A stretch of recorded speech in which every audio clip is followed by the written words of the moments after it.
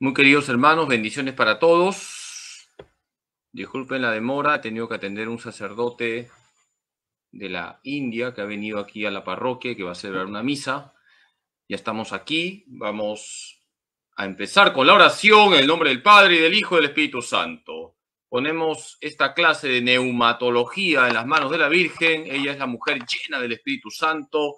A ella le decimos, Dios te salve María, llena eres de gracia, el Señor es contigo. Bendita tú eres entre todas las mujeres, y bendito es el fruto de tu vientre, Jesús. Santa María, Madre de Dios, ruega por nosotros pecadores, ahora y en la hora de nuestra muerte. Amén. Gloria al Padre y al Hijo y al Espíritu Santo, como era en el principio, ahora y siempre, por los siglos de los siglos. Amén. En el nombre del Padre y del Hijo y del Espíritu Santo. Amén. Queridos hermanos, seguimos con nuestras clases de neumatología.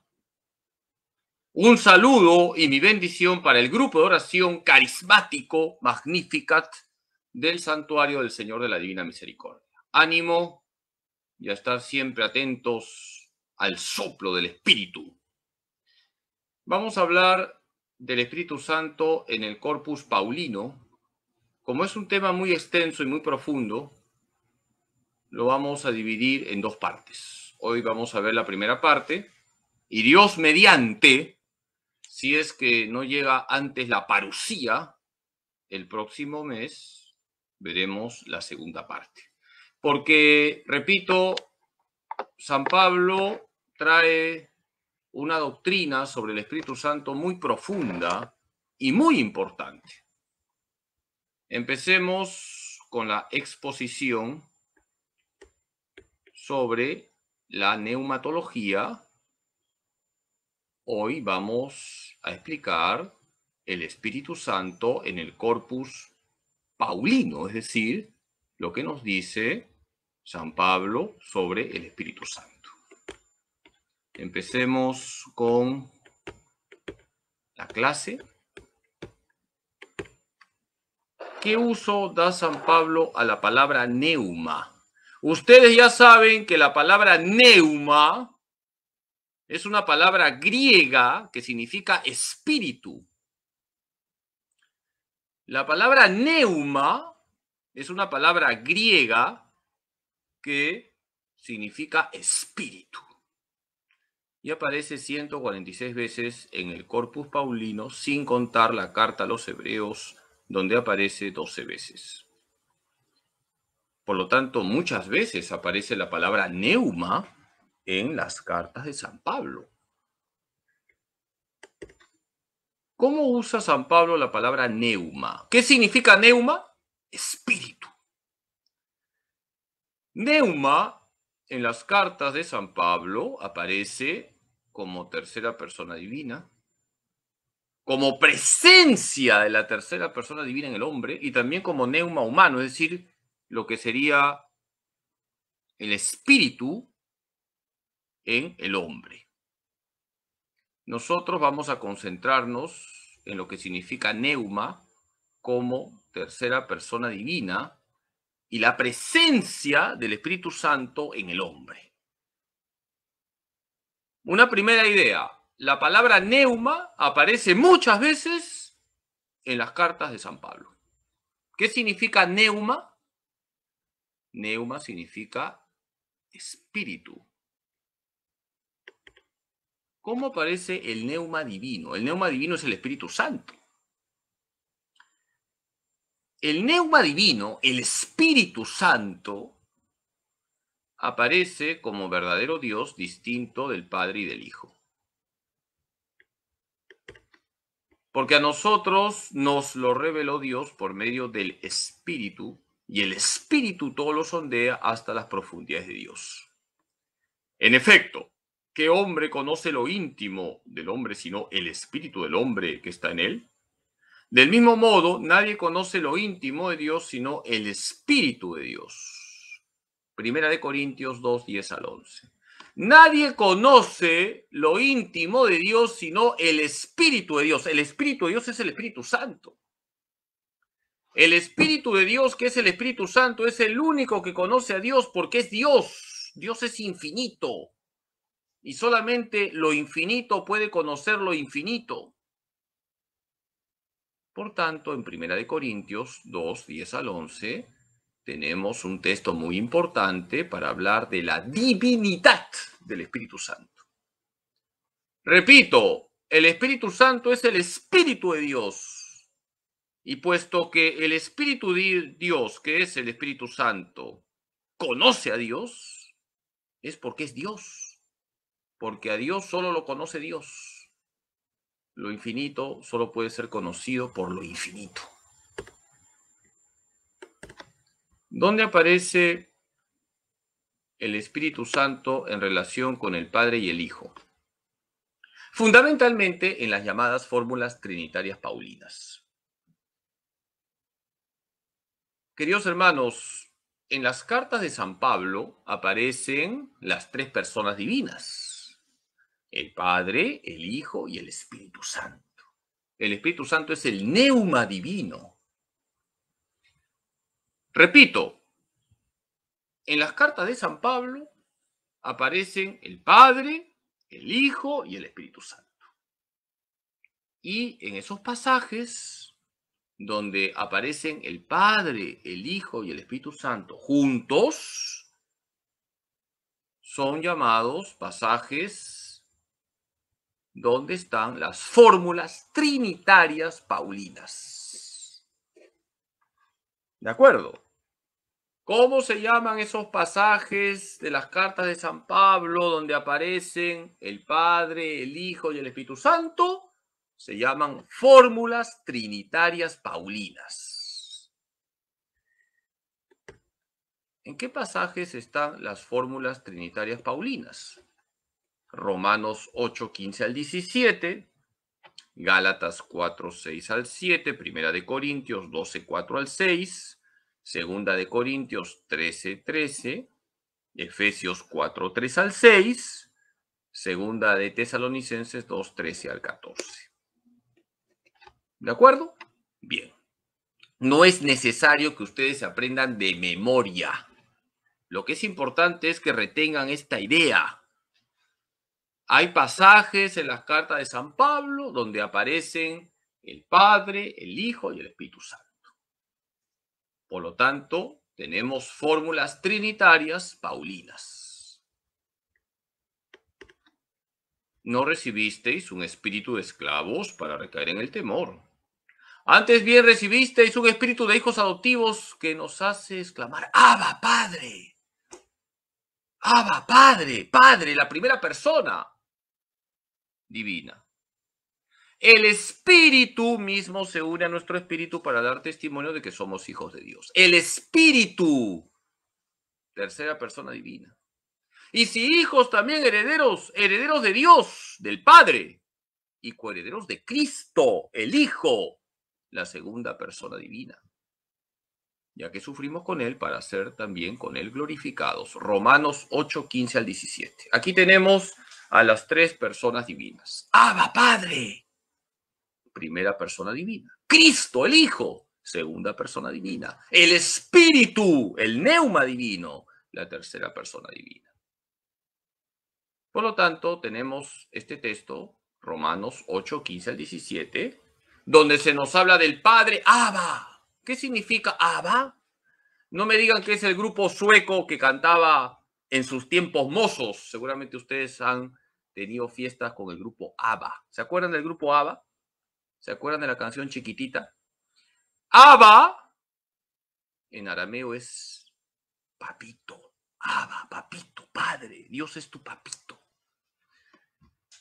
Abba, padre. Somos coherederos de Cristo. Cristo es nuestro hermano, el Hijo. Somos hijos en el Hijo. Gracias al Espíritu Santo que se une a nuestro espíritu. La prueba de que sois hijos es que Dios ha enviado a nuestros corazones el espíritu de su Hijo que clama, Abba, Padre. Galatas 4, 6 al 7. Dios, el Padre, la primera persona divina. El Espíritu, la tercera persona divina. El Hijo, la segunda persona divina. La prueba de que sois hijos es que Dios ha enviado a nuestros corazones el espíritu de su Hijo, es decir, el Espíritu Santo que clama, Abba Padre. El Espíritu Santo toca tu corazón y te relacionas con tu Padre Dios porque el Espíritu Santo te une al Hijo. Queridos hermanos, qué importante es que te dejes tocar por el Espíritu Santo, para que veas a Dios como Padre y no como un verdugo. Dios es tu Padre, Jesucristo tu hermano. El Espíritu Santo te cambia la vida. Hay diversidad de carismas, pero el Espíritu es el mismo. Diversidad de ministerios, pero el Señor es el mismo. Diversidad de operaciones, pero es el mismo Dios que obra en todos. Primera de Corintios 12, 4 al 6. Hay diversidad de carismas, pero el Espíritu es el mismo. Hay un solo Espíritu Santo que enriquece la iglesia. Hay diversidad de ministerios, pero el Señor es el mismo. Hay un solo Señor Jesucristo, el Hijo. Hay diversidad de operaciones, pero es el mismo Dios, el Padre, que obra en todos. Aquí tenemos la presencia de las tres personas divinas, el Espíritu, la tercera persona divina, el Señor, el Hijo y Dios, el Padre. Cuando San Pablo habla de Dios, se está refiriendo al Padre. Cuando San Pablo habla del Señor, se refiere al Hijo, por lo general. Y cuando habla del Espíritu con mayúsculas, se refiere al Espíritu Santo. Primera de Corintios 12, 4 al 6. La gracia del Señor Jesucristo, el amor de Dios y la comunión del Espíritu Santo sean con todos vosotros. Segunda de Corintios 13, 13. Este saludo, ustedes lo escuchan en la misa. Toda la misa, por cierto, está llena de citas bíblicas. La gracia del Señor Jesucristo, el amor de Dios y la comunión del Espíritu Santo sean con todos vosotros. Qué bonito, 2 Corintios 13:13. 13. La gracia del Señor Jesucristo, el Hijo, la segunda persona de la Trinidad. El amor de Dios, el Padre, primera persona divina. Y la comunión del Espíritu Santo, es decir, la tercera persona divina hace que estemos unidos en Cristo Jesús, que recibamos la gracia del Señor y que nos dejemos empapar por el amor del Padre. La gracia del Señor Jesucristo, el amor de Dios y la comunión del Espíritu Santo sean con todos vosotros. Segunda de Corintios 13:13. Poniendo empeño en conservar la unidad del Espíritu con el vínculo de la paz, un solo cuerpo y un solo espíritu, como una es la esperanza a que habéis sido llamados. Un solo Señor, una sola fe, un solo bautismo, un solo Dios y Padre de todos, que está sobre todos y por todos y en todos. Efesios 4, 3 al 6. Aquí ustedes, que son muy inteligentes, detectan a las tres personas divinas. Poniendo empeño en conservar la unidad del Espíritu. ¿Qué persona divina es? La tercera persona divina. El Espíritu nos une con el vínculo de la paz. Una persona que está ungida por el Espíritu Santo es una persona que lleva paz, una persona que forja comunión. Un solo cuerpo y un solo espíritu, el Espíritu Santo. Como una es la esperanza a la que habéis sido llamados. Un solo Señor, Jesucristo, el único que salva una sola fe, un solo bautismo, un solo Dios y Padre de todos, que está sobre todos, por todos y en todos. Hay un solo Dios Padre. Qué bonito texto para hablar de la iglesia. La iglesia es el cuerpo de Cristo, un solo cuerpo y un solo espíritu. Y en la iglesia, gracias al Espíritu Santo, vivimos la unidad.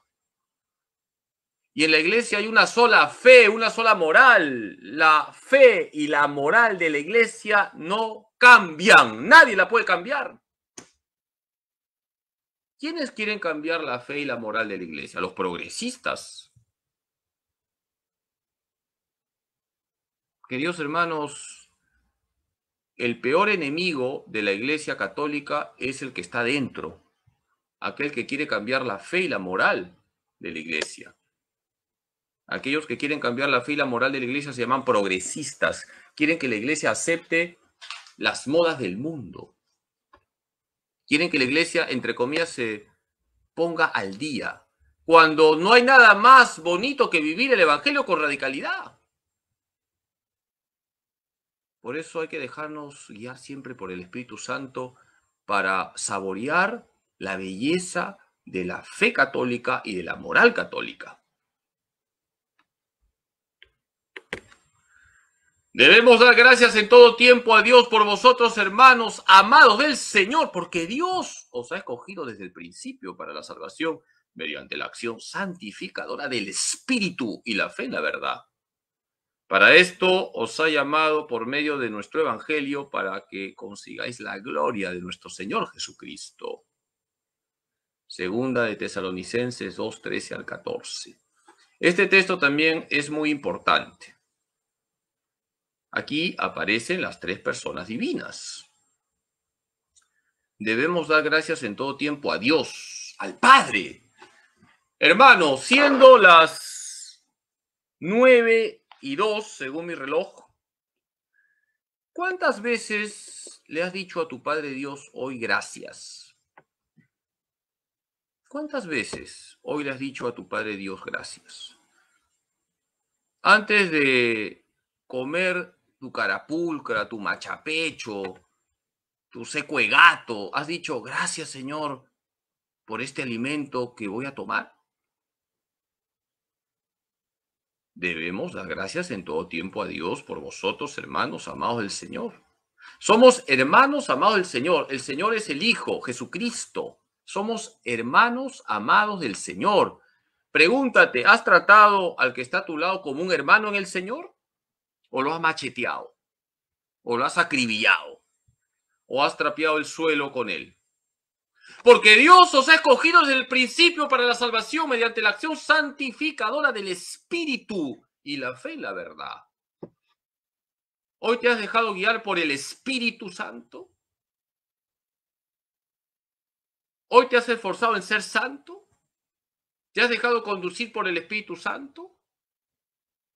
Para esto os ha llamado por medio de nuestro Evangelio, para que consigáis la gloria de nuestro Señor Jesucristo.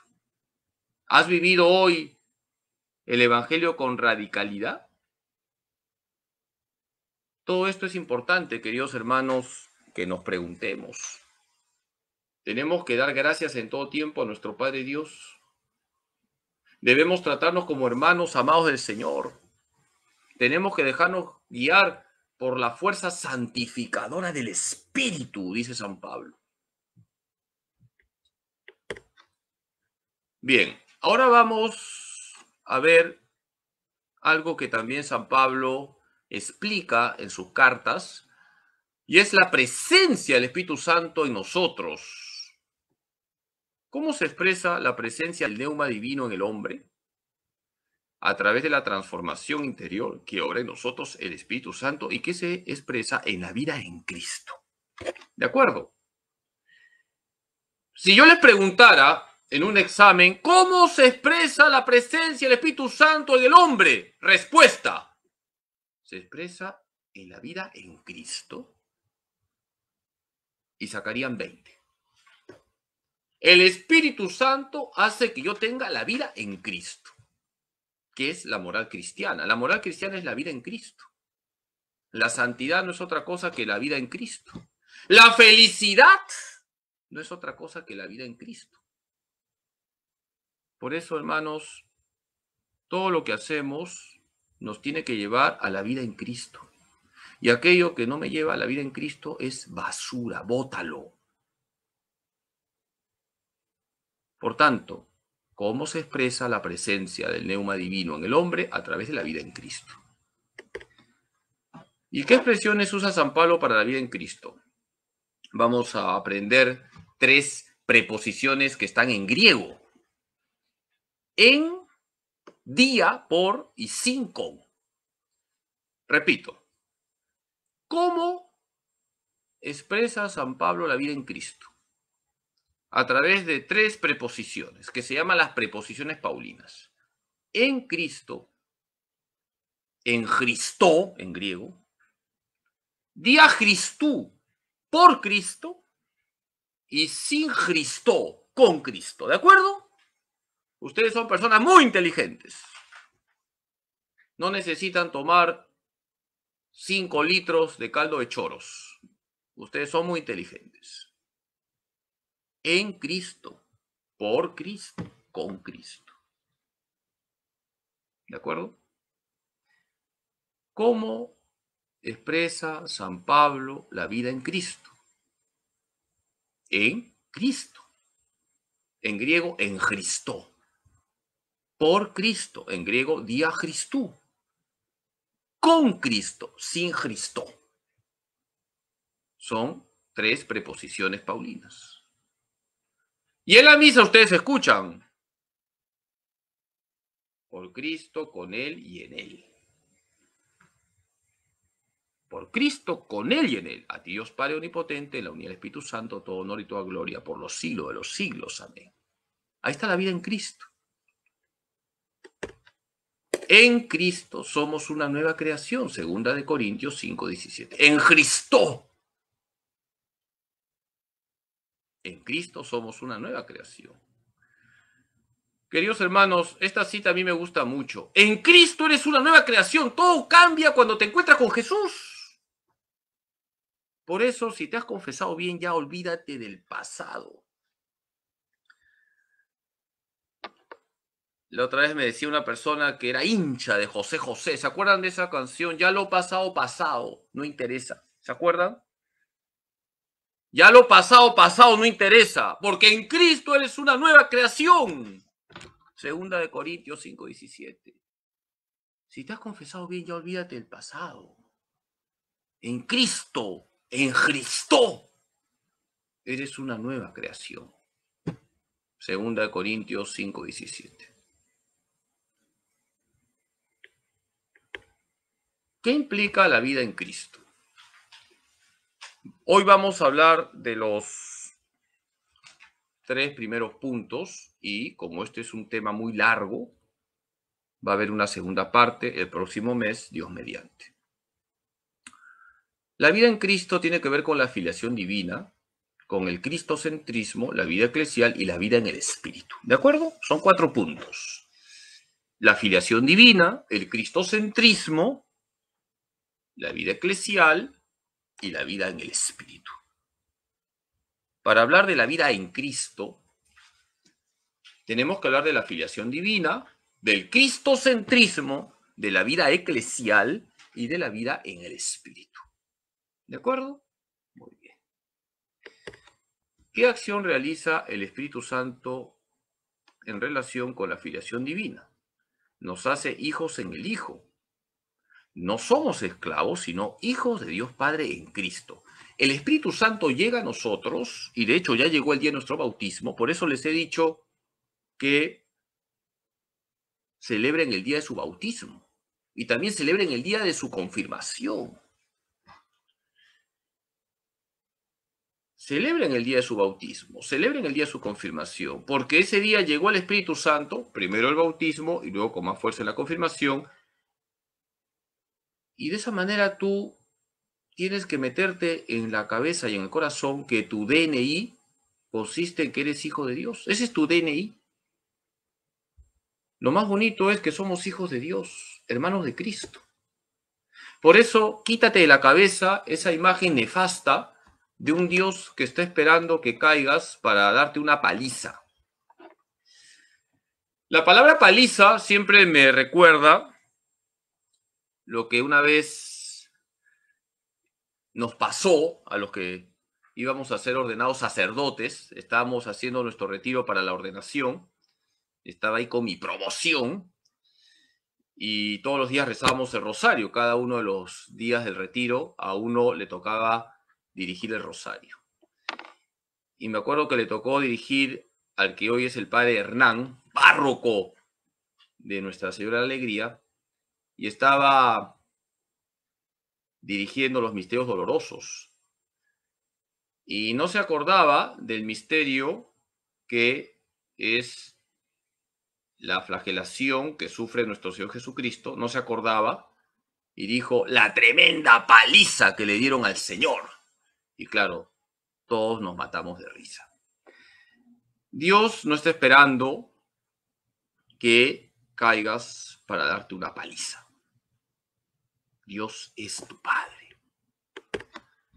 No recibiste un espíritu de esclavos para recaer en el temor. Antes bien recibiste un espíritu de hijos adoptivos que nos hace exclamar, Abba Padre, el espíritu mismo se une a nuestro espíritu para dar testimonio de que somos hijos de Dios. Y si hijos también herederos, herederos de Dios y coherederos de Cristo, ya que sufrimos con Él, para ser también con Él glorificados. Romanos 8, 15 al 17. Qué bonito Llama a Dios Abba, papito, Abba, Padre. El Espíritu Santo te toca el corazón y recuerdas tu DNI. ¿Cuál es tu DNI? Que soy hijo de Dios, hermano de Cristo. La prueba de que sois hijos es que Dios ha enviado a nuestros corazones el espíritu de su Hijo que clama Abba Padre. El Espíritu Santo hace que tú vivas la filiación divina. Gálatas 4:6.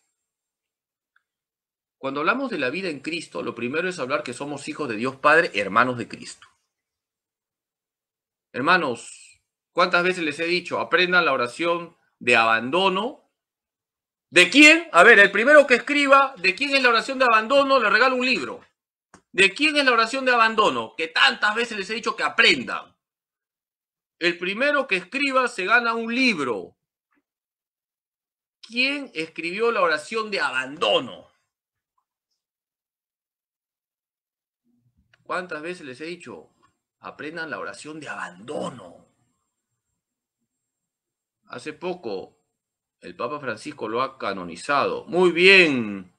María Luisa Palau se gana su libro número 40, pero no está tan escrito también escrito ahí Nelly de Almeida Fagri, mi mamá ha escrito perfectamente. Charles de Foucault, muy bien, esa es la oración. Perfecto. Charles de Foucault, Rosa Bulnes, muy bien. Ha escrito entonces dos premios. Vamos a darle a las dos primeras, Madalena Bulnes. Bueno, mi mamá ya tiene todos los libros. Vamos a darle a Valeria Casado Franco y Nancy Ángela Carbajo Huánuco también. Y Virginia Sánchez, ¿de acuerdo? Perfecto. Todas ellas, todas las mujeres son muy inteligentes, han escrito perfectamente Charles de Foucault. Charles de Foucault escribió la oración de abandono, oración clásica. Bien, ¿qué acción realiza el Espíritu Santo en relación con el cristocentrismo. Hemos dicho que para hablar de la vida en Cristo tenemos la filiación divina, número uno. Dos, el cristocentrismo. El Espíritu Santo nos incorpora a Cristo y nos cristifica. El acceso a Cristo es en el Espíritu Santo. Fíjense a lo que hace el Espíritu Santo, nos cristifica. Por eso el Espíritu Santo es fundamental. Y nadie puede decir Jesús es Señor sino con el Espíritu Santo. 1 Corintios 12:3. Este texto es fundamental. Es imposible que Jesús sea el centro de tu vida si no tratas al Espíritu Santo. Es imposible que imites a Jesús si no tratas al Espíritu Santo. Es imposible que tengas vida cristocéntrica si no tratas al Espíritu Santo. Hermanos, nadie puede decir Jesús es Señor sino con el Espíritu Santo. Primera de Corintios 12:3. Necesitamos del Espíritu Santo. ¿Cuántas veces también les he dicho, el Espíritu Santo no está en el tercer lugar, el Espíritu Santo está en el primer lugar, igual que el Padre, igual que el Hijo, hay un solo Dios vivo y verdadero, el Padre es Dios, el Hijo es Dios, el Espíritu Santo es Dios. Trata al Espíritu Santo todos los días. El Espíritu Santo te cristifica. Porque la ley del Espíritu que da la vida en Cristo Jesús te liberó de la ley del pecado y de la muerte. Romanos 8.2. La ley del Espíritu, es decir, la ley del Espíritu Santo, que da la vida en Cristo Jesús, te liberó de la ley del pecado y de la muerte. Queridos hermanos, déjate guiar por el Espíritu Santo y en ti habrá vida plena, porque en ti estará Cristo Jesús. La vida en Cristo Jesús solo es posible porque viene a ti el Espíritu Santo. No pongas obstáculos al Espíritu Santo, no le metas cabe al Espíritu Santo. Abre tu corazón al Espíritu Santo. Padrecito, ¿qué tengo que hacer para abrir mi corazón al Espíritu Santo? Tienes que orar todos los días. Tienes que acercarte a los sacramentos. Acoge la palabra de Dios. Valora la palabra de Dios ten una gran devoción a la Virgen, pídele todos los días al Espíritu Santo que el centro de tu vida sea Jesús. El Espíritu Santo te cristifica. Vino a anunciar la paz. Paz a vosotros que estabais lejos y paz a los que estaban cerca.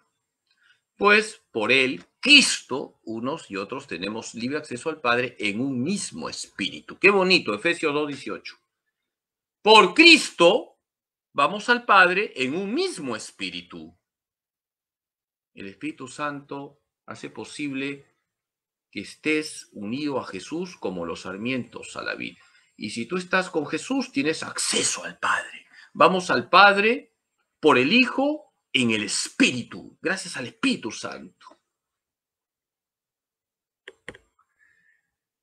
¿Qué acción realiza el Espíritu Santo en la vida eclesial? Recuerden que hay cuatro puntos que tienen que ver con la vida en Cristo. La afiliación divina, el cristocentrismo. El tercer punto, la vida eclesial. El cuarto punto viene a ser toda la acción del Espíritu Santo en el hombre, los frutos del Espíritu Santo, por ejemplo. ¿Qué acción realiza el Espíritu Santo en la vida eclesial? Nosotros no podemos seguir a Cristo sin contar con la iglesia. Al incorporarnos a Cristo, el Espíritu Santo nos incorpora a su cuerpo, que es la iglesia, y actúa en ese cuerpo con los carismas, en griego carismata. Carismata en griego es carismas. Por lo tanto, nosotros tenemos que contar siempre con la iglesia. Repito, al incorporarnos a Cristo, el Espíritu Santo nos incorpora a su cuerpo, que es la iglesia. Y actúa en ese cuerpo con los carismas, carismata. Otra palabra griega, carismata, carismas el Espíritu Santo nos incorpora a Cristo, la cabeza de un cuerpo, ese cuerpo es la iglesia. No se puede tener vida cristocéntrica si no contamos con la iglesia. Por eso hay que cuidar la vida eclesial. ¿Y cómo se expresa la acción del Espíritu Santo en la vida eclesial? Hay un solo espíritu, por lo tanto, y hay diversidad de carismas, hay diversidad. El Espíritu Santo hace posible que en la iglesia haya unidad, una sola fe, un solo culto, un solo gobierno, pero también diversidad de carismas. Tenemos en la iglesia una riqueza maravillosa. El Espíritu Santo forja la unidad, la comunión y también la diversidad. Tenemos movimientos, grupos, diferentes congregaciones, órdenes, Qué bonita es la iglesia. La iglesia es como un jardín donde hay unidad, pero diferentes flores. El Espíritu Santo enriquece a la iglesia. Y tenemos diferentes vocaciones, tenemos los ministros sagrados, tenemos la vida consagrada, tenemos los laicos. En la iglesia hay diferentes vocaciones y todas las vocaciones son riquezas que suscita el Espíritu Santo. Cada vocación es como un carril de esa autopista que nos lleva al cielo. Y el Espíritu Santo suscita todos los días en la iglesia una serie de iniciativas para anunciar el Evangelio, porque el Espíritu Santo es el motor de la evangelización. Hay diversidad de carismas, pero el espíritu, neuma, es el mismo. Diversidad de ministerios, pero el Señor es el mismo. Diversidad de operaciones, pero es el mismo Dios que obra en todos. Primera de Corintios 12, 4 al 6. Por lo tanto, en la iglesia tenemos diversidad de carismas y hay que respetar los diferentes carismas reconocidos por la iglesia. Repito, reconocidos por la iglesia. Vuelvo a decirlo, reconocidos por la iglesia. Hermanos, no estemos aceptando revelaciones que no están reconocidas por la iglesia. Hay que ser obedientes. Lo primero es la palabra de Dios. Lo primero es lo que está en la Sagrada Escritura leída en la iglesia. Eso es lo primero. Y la iglesia también reconoce revelaciones privadas que ayudan a vivir la palabra de Dios. Por eso es importante siempre hacerle caso a la iglesia. En la iglesia hay diversidad de carismas, pero el espíritu, el neuma, es el mismo.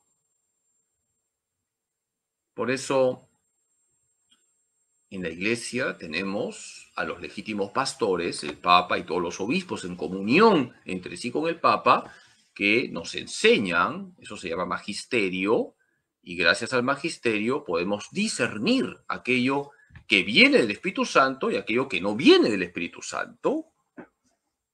Esto es muy importante. Es el magisterio, la enseñanza autorizada de los legítimos pastores, el que discierne los carismas. Repito, en la iglesia hay unidad y hay diversidad. No todos estamos cortados con la misma tijera, sino que aburrida sería la vida. Somos diferentes, bendita diversidad. Diversidad de la unidad porque creemos lo mismo y en el credo manifestamos que creemos lo mismo una sola fe. Porque en un solo espíritu hemos sido bautizados todos, para no formar más que un cuerpo, judíos y griegos, esclavos y libres, y todos hemos bebido de un solo espíritu. Primera de Corintios 12, 13. En la iglesia hay un solo espíritu, el Espíritu Santo, que unge todo el cuerpo místico de Cristo, que es la iglesia. El Espíritu Santo es el que vivifica la iglesia. De tal manera que hay un solo cuerpo, una sola cabeza, Cristo. Y todos hemos bebido de un solo espíritu, el Espíritu Santo. Fíjense cómo San Pablo habla mucho de la iglesia en relación con el Espíritu Santo. Queridos hermanos, en la iglesia todos somos carismáticos. Es verdad que tenemos dentro de la iglesia a la renovación carismática católica que hace tanto bien, pero en la iglesia todos somos carismáticos, porque todos estamos ungidos por el Espíritu Santo. Y lo mismo te digo, todas las misas son misas de sanación. No hay misas de segunda categoría, todas las misas son misas de sanación. Porque el Espíritu Santo actúa todos los días en la Eucaristía. El Espíritu Santo es el que hace posible que el pan y el vino, en el momento de la consagración, se conviertan en el cuerpo, la sangre, el alma y la divinidad de nuestro Señor Jesucristo. El Espíritu Santo está actuando todos los días en la iglesia. Déjate tumbar por el Espíritu Santo. Déjate ungir por el Espíritu Santo. Poniendo empeño en conservar la unidad del Espíritu con el vínculo de la paz, un solo cuerpo y un solo Espíritu, como una es la esperanza a que habéis sido llamados. Un solo Señor, una sola fe, un solo bautismo, un solo Dios y Padre de todos, que está sobre todos, por todos y en todos. Efesios 4, 3 al 6.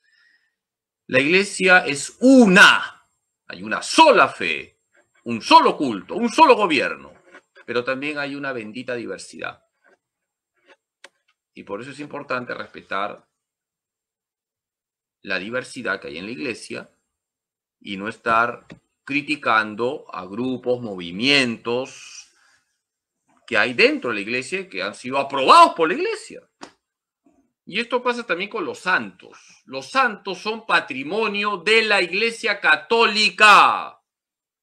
No hay santos de derecha, santos de izquierda. Eso significa, hermanos, que no hay que ideologizar la Iglesia.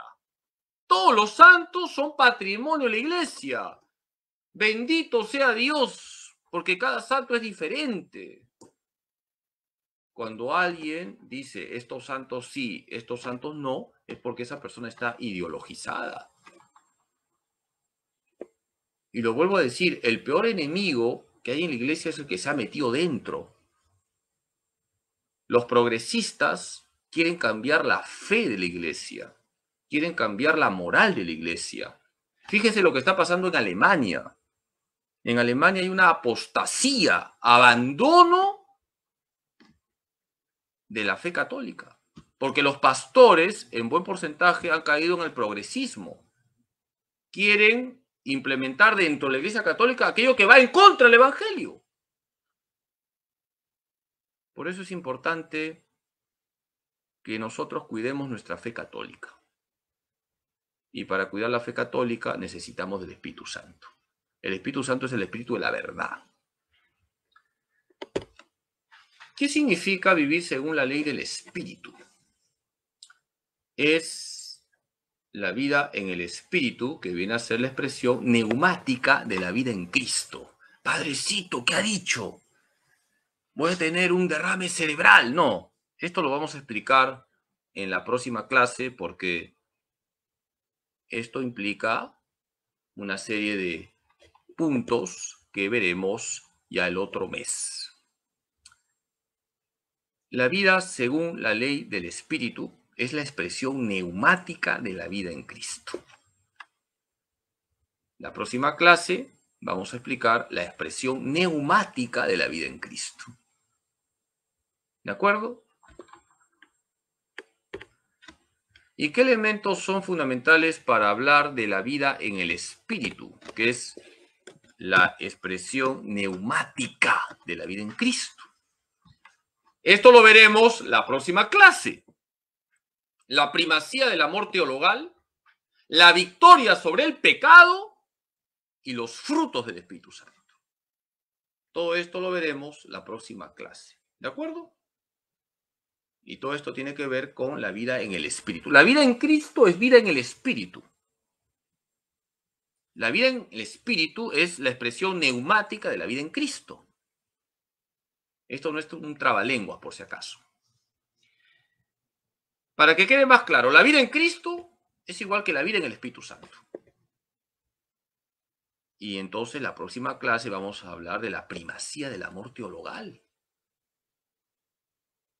El amor de Dios ha sido derramado en nuestros corazones con el Espíritu Santo que se nos ha dado. La primera persona que escriba esta cita le regala un libro. El amor de Dios ha sido derramado en nuestros corazones con el Espíritu Santo que se nos ha dado. A ver, ¿quién se anima? Ustedes son brillantes biblistas. Ustedes son especialistas en Biblia. Repito, ¿dónde está? El amor de Dios ha sido derramado en nuestros corazones con el Espíritu Santo que se nos ha dado. No me defrauden, ustedes son grandes biblistas. Escriban la cita, si la saben. El amor de Dios ha sido derramado en nuestros corazones con el Espíritu Santo que se nos ha dado. Mi mamá otra vez en primer lugar, Nelly de Almeida Fagri, Romanos 5.5, muy bien. Lo que se hereda no se hurta. Susana Gamero, mi prima, muy bien. Entonces todo queda en familia. Susana Gamero se ganó un libro, muy bien. Y para que no crean que está arreglado, vamos a darle a Betsy Buitrón el tercer libro, Romanos 5.5. Muy bien. Hoy día ha sido el día de mi familia. Muy bien, entonces Susana Gamero, mi prima hermana, se ganó el libro y Betsy también. Vamos a terminar hoy la clase. San Pablo afirma la personalidad del Espíritu Santo y además presenta una riqueza de expresiones para señalar la presencia fundamental del Espíritu Santo en la vida del hombre y de la iglesia. Queridos hermanos, como hemos visto, San Pablo nos dice, en primer lugar, que el Espíritu Santo es Dios, por eso afirma la personalidad del Espíritu Santo, es persona divina. Además, San Pablo señala la importancia del Espíritu Santo en la vida cristiana, la filiación divina, el cristocentrismo, la vida eclesial y la vida en el Espíritu Santo. ¿De acuerdo? Bien, ahí lo vamos a dejar.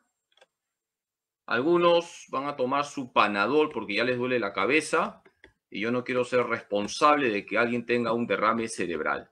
Muchas gracias por su paciencia, bendiciones para todos. Mañana hay Rosario de la Aurora. Todos los sábados en el santuario del Señor de la Divina Misericordia tenemos el Rosario de la Aurora, porque en el santuario del Señor de la Divina Misericordia somos recontra marianos. Y los sábados están rezando los varones. Tenemos dos presidia de varones y ese es el trabajo que tienen ahora. Levantarse temprano los sábados y rezar a la Virgen María, nuestra Madre, el Santo Rosario. Les invito mañana al Rosario de la Aurora a las 6 de la mañana y les voy a dar la bendición. Un saludo para el grupo de oración carismático, magnífica, ánimo para todos y estamos todos muy unidos siempre en la oración. El Señor esté con ustedes la bendición de Dios Todopoderoso, Padre, Hijo y Espíritu Santo, descienda sobre ustedes y permanezca para siempre. Bendiciones para todos y ánimo en Jesús, José y María. Muy buenas noches.